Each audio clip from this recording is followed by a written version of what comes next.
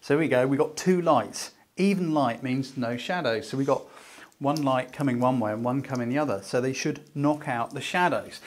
They're not going to knock out the shadows absolutely perfectly. I'm just doing that because as you turn the light, you can actually see on Tasha's face, well I can because I'm quite close, what's going on. Yeah, I think that's probably about the best play. I can you see? Look on Tasha's face. You see there's a shadow there and all I'm doing is just turning the light from side to side to find the place where the shadows are the softest. You're trying not to giggle, aren't you? There we go. Interesting. There we go. Right. the reason I said interesting then is because the light isn't actually pointing directly at Tash. Some of that light is coming off this wall. These are little things to look at. Go and watch that introduction to flash thing I was on about, the one with the water in it, because that will explain about how light acts like water and bounces off things. Okay, setting up the exposure. To have even light, the way you do it is you meter one light at a time. So I'm going to turn this one here off first. And we're going to do this one. It should be the same as it was because I haven't moved that light. So let's go for a flash. And that didn't work. I don't know why it didn't work. Because I've accidentally pressed a button. There we go. That's giving me f8 and a half. Sorry, I did that wrong. Point the Invercone at the light in this instance. So I'm going to hold it in front of Tasha's nose. That's giving me, yeah, f8 and a half. So what I want to do is to make that one match that one. So, switch this one off, plug the lead into this one. If I can find the plug socket, there it is, it's up there. You can't see what I'm doing, can you? There we go. Switch that on. Oh, I don't want to move that. So what I need to do is to make sure that I've got f8 and a half coming out of this light. As you can see, shadows at the moment because we're only using one light. And back towards the camera.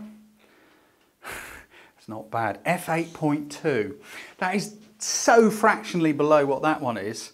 And it's pure fluke. If I needed to change it, all you have to do is just alter the power setting. Now this one has a switch like this where you can turn it to different power settings.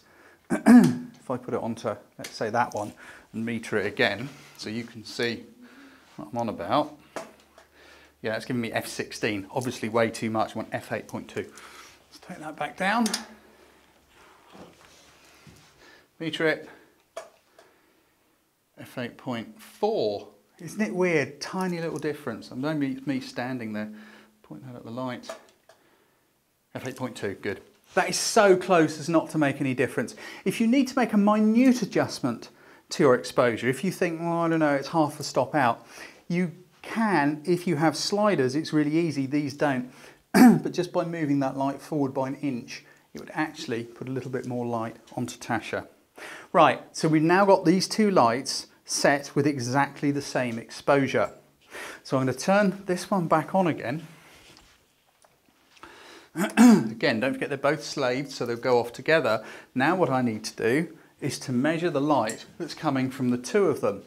You may notice now, the modelling lights, both lights on, those shadows have disappeared because one light is cancelling the other.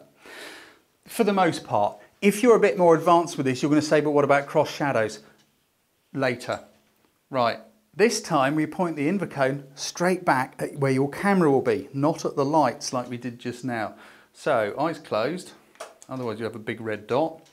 That is giving me f11.2, but 0.2 of a stop's not enough to worry about. So light meter down here, camera which is somewhere, here it is. There's not much room in here so we're having to dance around each other. f11.2 so I'm just going to put F11 onto the camera. I don't worry about the point two, it's not enough to panic around. Tasha Basha! right, I'll tell you what, let's have a side, yeah, come on, let's go sideways on a bit. There we go. And turn your head straight along your shoulder at me. That's it. and then put your chin down just a sniddly widdly bit. Cool. There you go. Look at that, completely flat, even light compared to all the other pictures we've taken so far. there are virtually no shadows on Tasha's face whatsoever. But suppose you wanted a couple of shadows, because you might want some, but not quite as harsh as some of the ones we had before. Well, you can do a little set called key and fill. That means you have one light as your key light. That's the main light. That will put some shadows across your subject's face. But then you want to fill those shadows in just a bit. And that's where you have what's called a fill light. And the fill light is only going to affect the shadows. I'll set it up and then talk you through it when I've done it. Right, I've moved the lights around.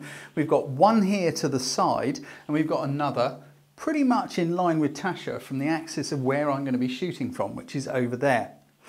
This one is called the key light because this is going to be our main light. This is our key light. We're pushing light through the umbrella, which will cause some shadows on Nat's face.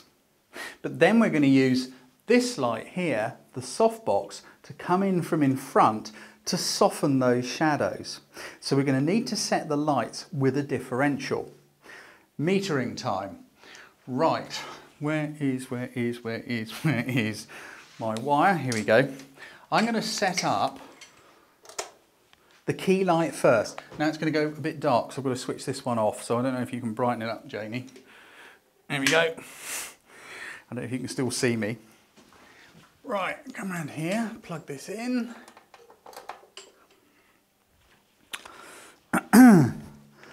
so let's see what the light is doing on Tasha. Now this time I've got a meter directly off this. I'm sorry, you've got to go that way a bit so that you're not blocking the light.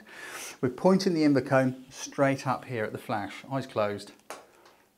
That's giving me f11 and a half. That's quite a lot of light. I think we should be okay. It should form some good shadows. We're now going to set this light to be about two stops below that light. If you come round here and have a look at Nat's face, you see these shadows here, I mean, they, I don't know how they look in the video camera. To my eye, they look completely natural, but to your DSLR, they might look a little bit too dark. If I take a metering, metering, a meter from meter reading from there, f11.3, if I go into the shade here and point it back and see what it says, 5.6, not quite f5.6. Some of the light coming off that is bouncing off this white wall. If you have a bigger room, you won't have so much light coming back. But not to worry about it. Let's get this light set up, the fill light. So to do that, don't fall over the lead. Here we go. I need to turn, let's turn this one on so you're not plunged into darkness. Now I've got to turn this one off take the cable out and meter this one. Now, when you're using your own home studio, you're not going to have to keep metering all the time because once you've made up a lighting rig and got the exposure correct, you can leave it there and you can shoot loads and loads of pictures with it. I'm doing this over and over again so you get the idea of what's going on. That was F11. We now need to meter this one. So point the Invercone straight towards the light that's giving me F22. That's way too much. That's more than that one is. We may have to juggle some more. So I want to bring this one down and see if I can get this one down to about five, six, maybe a bit over. So it's obviously gone much darker. Jane's probably desperately trying to get an exposure to see me. That's F11 too. We're going to have to fiddle a little bit more here because let's take that down some more and see what we've got. F8, right. We can't get a, a nice balance between the two, so I'm going to turn this one up some more. Does that make sense? So I've got F8 here, which is my lowest exposure that I can get. Let's turn that on so it doesn't go black. Get the cable out of there. The reason it's the lowest exposure I can get is because these lights are very, very powerful. If you're using 200 watt second lights, then there's a good chance you can get a much, much lower exposure. Let's just turn that one up a bit. See what we got. Right, up into the light. F16. We should be rocking and rolling now. F16 up here. We had F8 here. It's F16 and a half, so I've got a one and a half stop difference between the two different lights. This should work. Turn that one on. Looking at Nat's face, I can see it. I don't know if you can, it's quite subtle. There is still, this side of Tasha's face is a little bit brighter than that side. Not massively, but a bit. Right, the next thing we have to do is the overall exposure. This is the one you set on the camera. We've done the pointing at the lights and getting the differential between the two. Now we need the exposure for the camera. Both the lights are switched on. Plug in the lead, fire them both together. Also be careful when you're doing this, don't stand in your own light. So I'm going to point that back to where the camera will be. Sorry, hold it next to Nat's face. Hold on to Nat's nose actually. Lights closed, F16 and a half. Even though that was F11, um, I can't remember what it was I'm getting myself in a muddle, but it doesn't matter. Even though that was very bright, the, the cumulative effect of the two has lifted it up a bit. Right, dump this down here get my camera, come back over here. So, set that onto the camera. We want f16 and a half. There we go, f16 and a half, f19. Tasha basha. Let's have you titting that way this time. Off to that direction and turn your face towards me, straight along your shoulder, okay? now, I'm shooting straight along the edge of this light. I don't know if you can see that, Janie. Even though it's really close to the line of view, it's not quite there. And because of the long lens, which is, has a narrow field of view, I can completely skim past it so it's not in my shot. That's the advantage of using a longer lens and being a bit further back. Right, Nat, you're being very patient. You have that dead look in your eye. right, do your chin down thing a bit.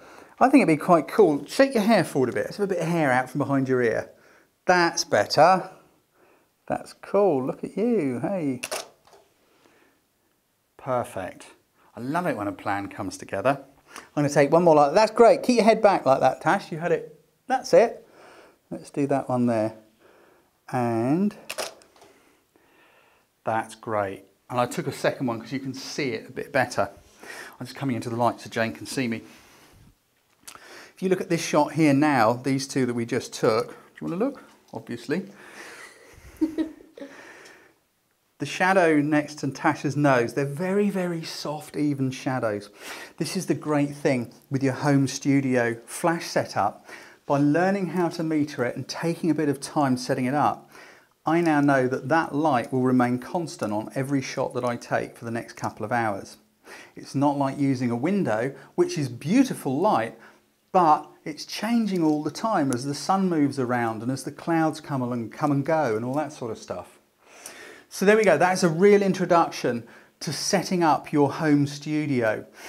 We'll get creative later on, but for now, just have a little practice with those two. I'm going to see if I can blag a takeaway out of Tasha.